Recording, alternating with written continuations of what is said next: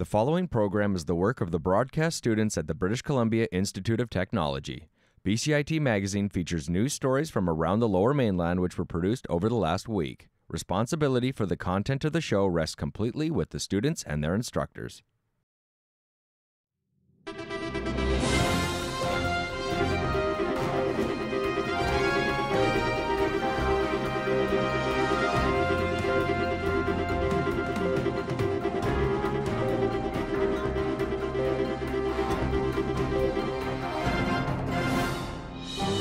Today on BCIT Magazine, the new Compass card causes more problems for TransLink and for persons with disabilities. Plus, thousands attend the memorial service for North Shore Rescue Service leader Tim Jones. And one man celebrates the life of a family member during the Variety Club weekend.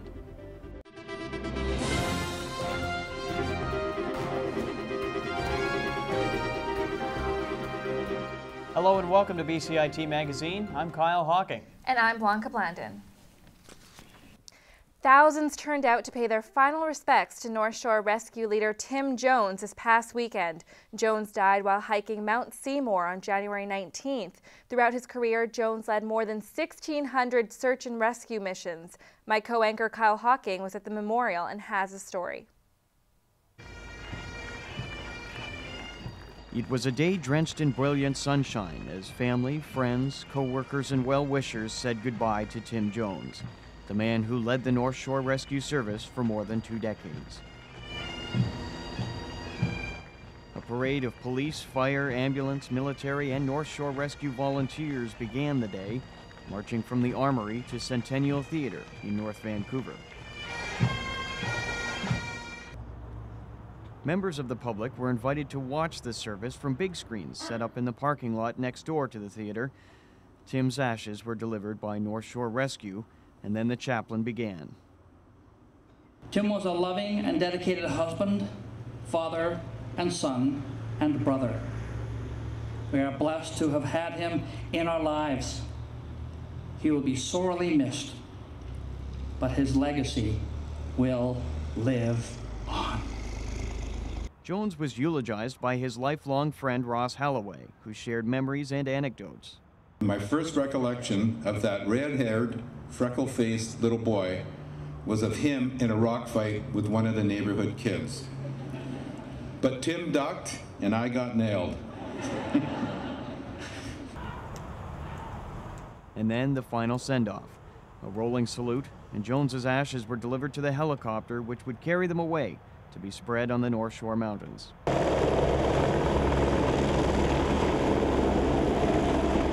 And those mountains on which Jones had undertaken so many search and rescue missions served as the backdrop for his memorial. Kyle Hocking in North Vancouver for BCIT Magazine.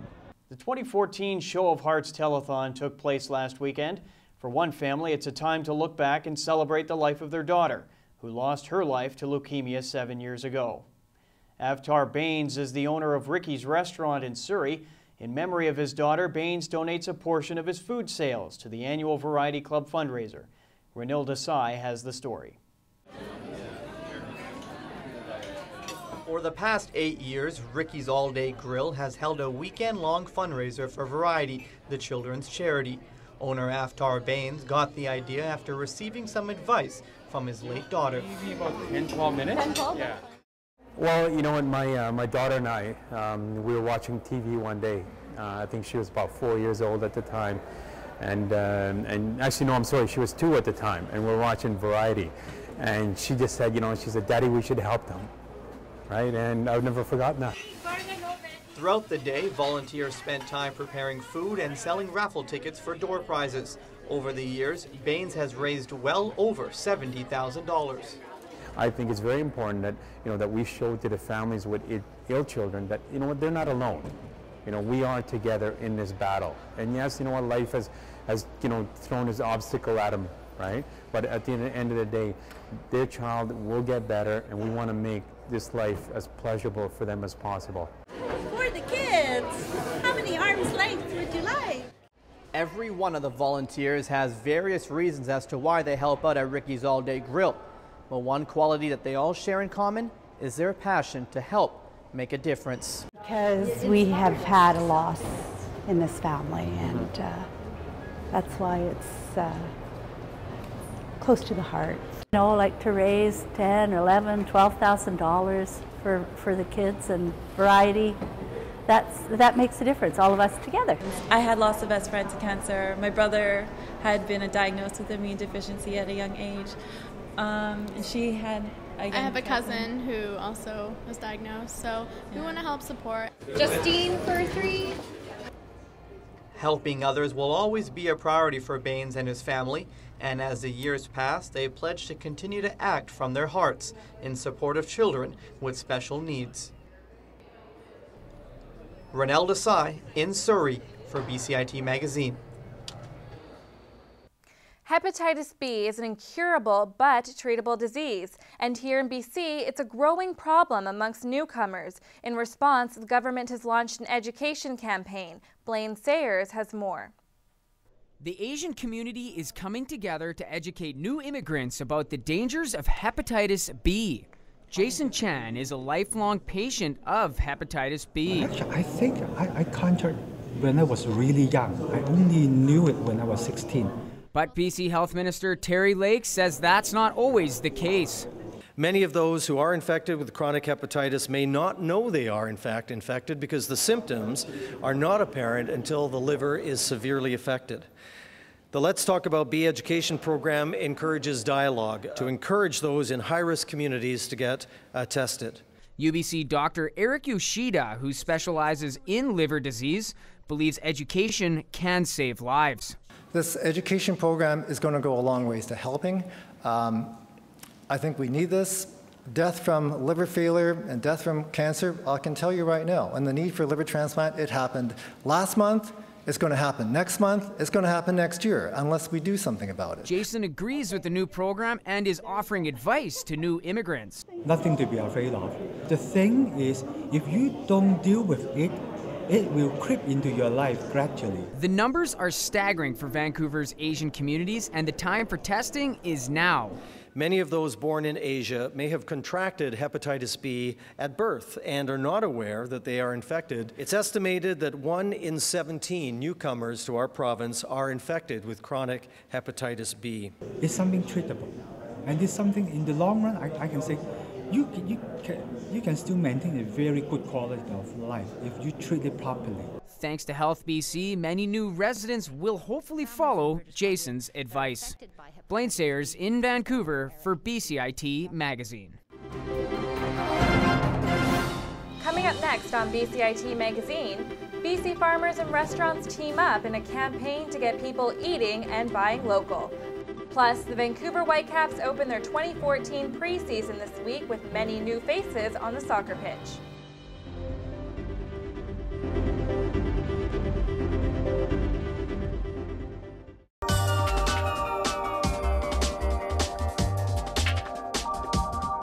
I chose BCIT because I know that all the programs are very hands-on. We have our own radio station, like it's it's one of the best programs that I've ever heard of.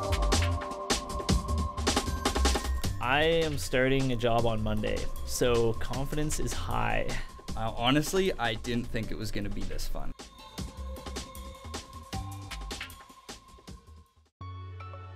A defining moment for me was when I finished my first internship and got lots of really great feedback from industry professionals.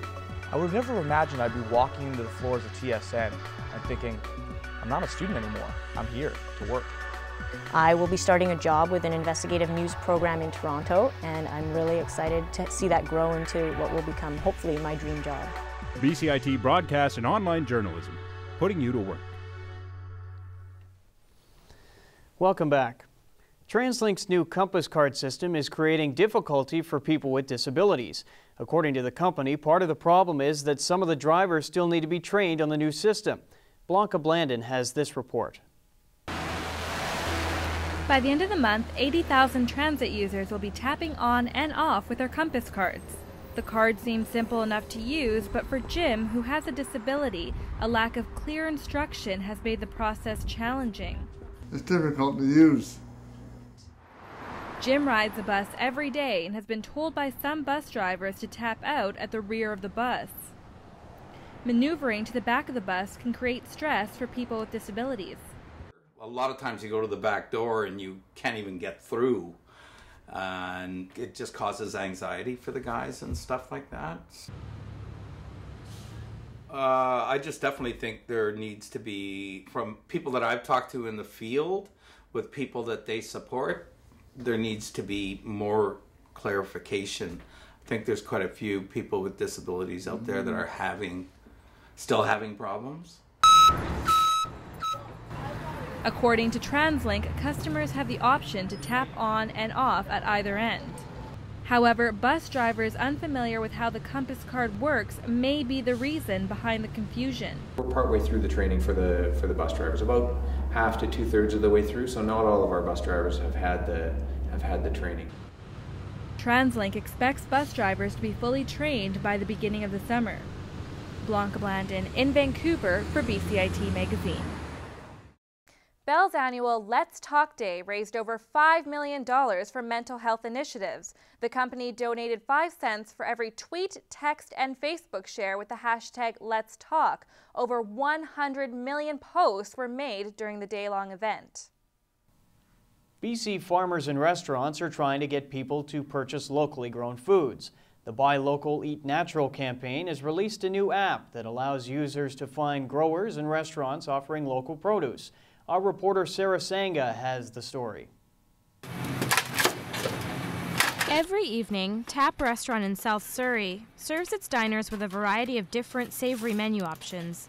The restaurant features fresh, local vegetables, and sous chef Hannah says it's a great way to support the community. I think it is important to um, support your community wherever you are. I mean, it's not like um, you don't want to go and source something from the East Coast if you don't have to. If you can support somebody in your area, then why not do that? TAP is part of the nonprofit Buy Local Eat Natural, which just released an app encouraging people to eat seasonal, locally grown foods, bringing together farmers, restaurants, and the Dairy Association.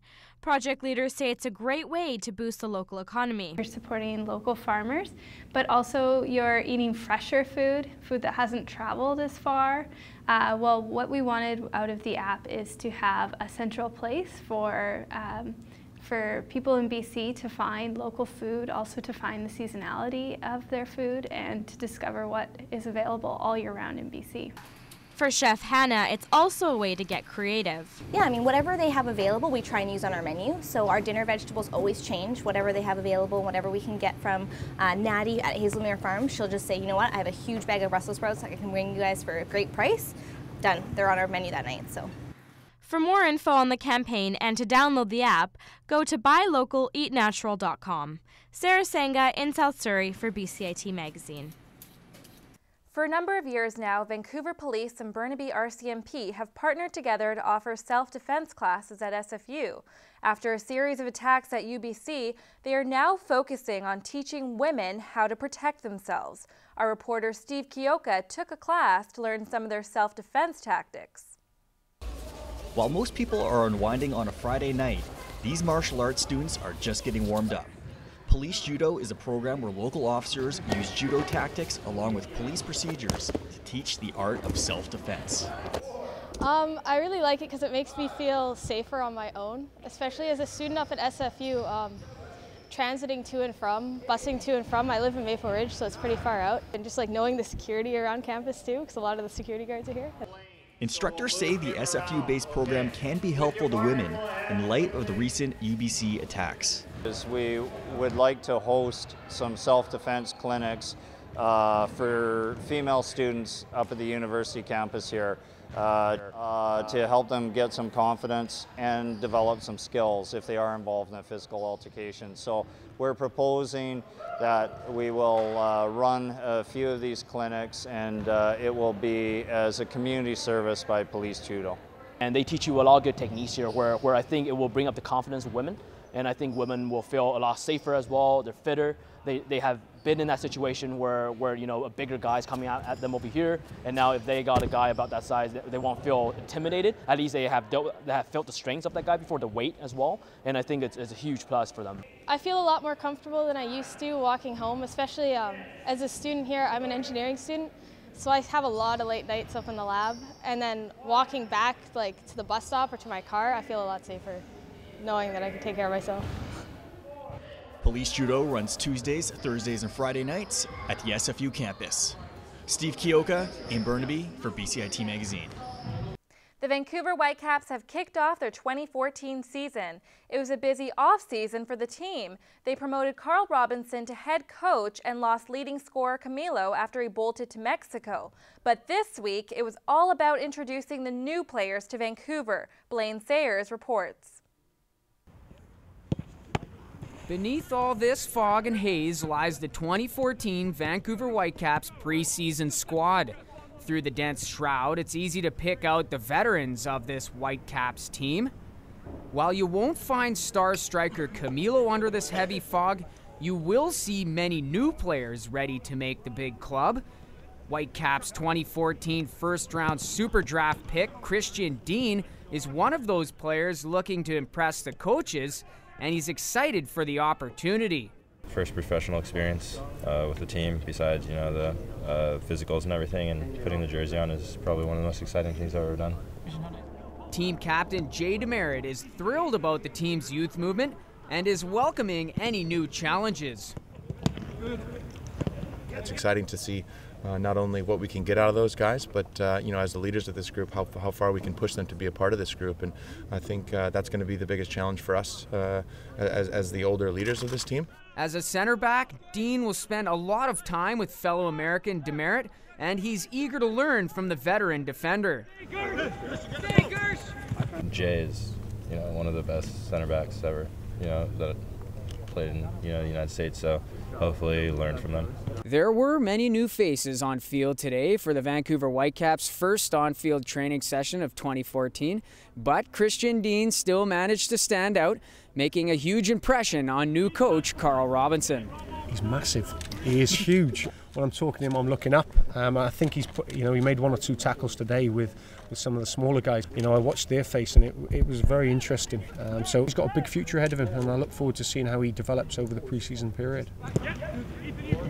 While the 2014 Whitecaps success remains a foggy mystery, the team hopes new additions like Dean can lift any preseason gloom before their home opener on March 8th. Blaine Sayers in Vancouver for BCIT Magazine.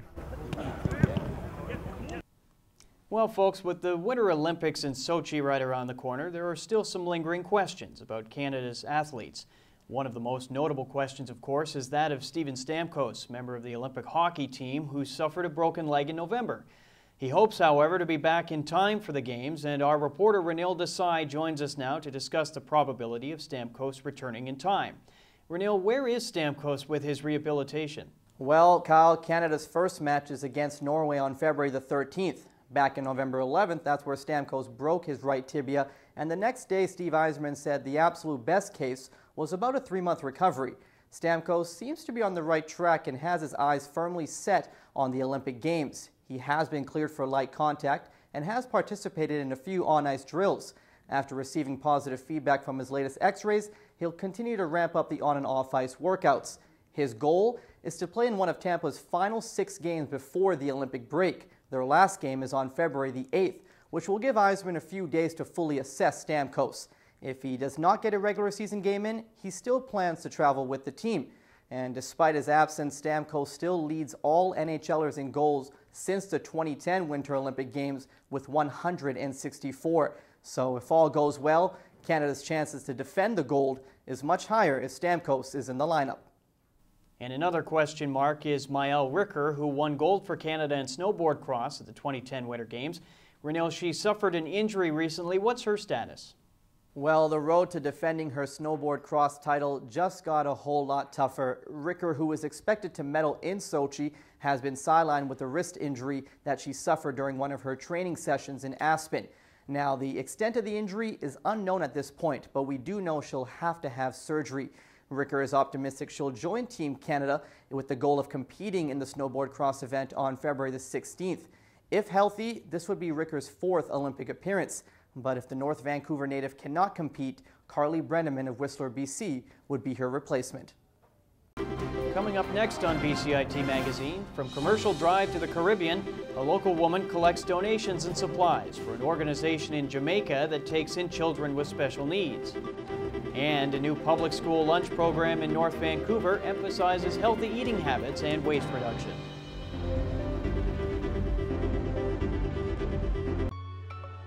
The most rewarding thing for me has been the relationships I developed in the program, both with instructors and classmates. My sense of confidence never never been higher. I mean, this this program's offered great opportunities to be in real world, real industry situations, and, and being in those moments and knowing I can contribute, I can do this. It's exciting to be in this industry and to meet lots of great people and to make amazing friends.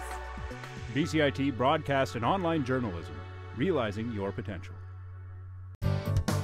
Standby graphics, ready camera one. If you want to experience the fast paced world of news, Today on BCIT Magazine, striking. make magic on a movie set, Frame. and action, or bring your creative ideas to life. BCIT's hands on training will get you started. BCIT Television and Video Production. Your possibilities start here. On February 10th, the city of Coquitlam is hosting its annual Fit and Frolic Walk. Everybody's welcome to join the walk or run, and there'll be fun activities for the kids. Dress up in red and pink to support Heart Month.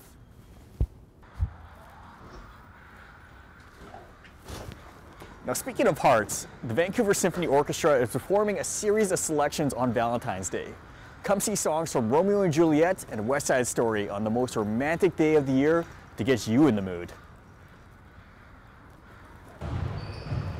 Now, if you're looking for date ideas, the Vancouver Fringe Festival will be performing their rendition of the Puck and Pickle Pub. Come see fringe actors portray such hockey commentators as Jim Houston and Kelly Hrudey. And that's your BCIT community calendar. I'm Steve Kioka. A Vancouver woman is collecting donations for a Jamaican organization that's helping children with special needs. Our reporter Shannon Brennan brings us a story. Local yoga teacher Danielle Hugenboom is getting ready for her annual trip to Jamaica. She went there for a yoga retreat three years ago and has been bringing donated goods ever since. She says meeting the founder of an organization that helps women and children in need changed her life. So, Sister Jackie is an ordinary woman in Jamaica that I met a couple of years ago, and she started a youth home. So, she started taking in children with learning disabilities, wheelchair bound children, children with HIV.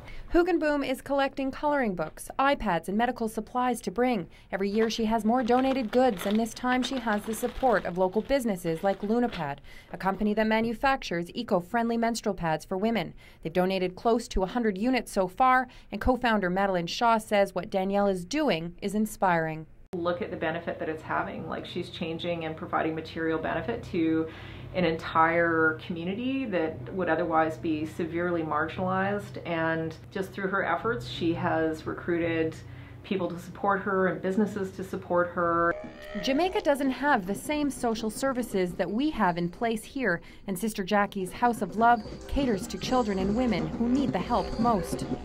Sister Jackie is probably one of the most inspiring women that I've ever met. She, when you ask her why she does this, she says, if I didn't, who would? And I think that's um, something that we can really use in this world. If we can all do something small, we really can make a difference. Danielle leaves for Jamaica in two weeks and hopes to bring five suitcases of donated art materials, medical supplies, and used iPads. They will be collecting donations through Sister Jackie's House of Love page on Facebook. Shannon Brennan in Vancouver for BCIT Magazine. February marks Black History Month. To kick off the celebration, Vancouver's Mayor Gregor Robertson will make a presentation honoring the life and work of tap dancing legend Jenny Lagon.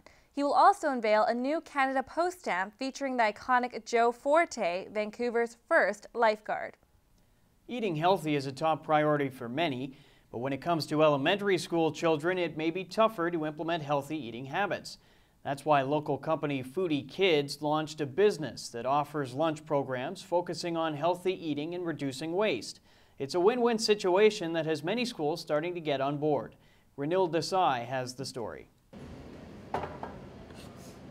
It's another day in the kitchen where chefs prepare and pack lunch for students at West Bay Elementary. Coordinator Michelle Tang says parents and teachers love the combination of nutrition and waste reduction.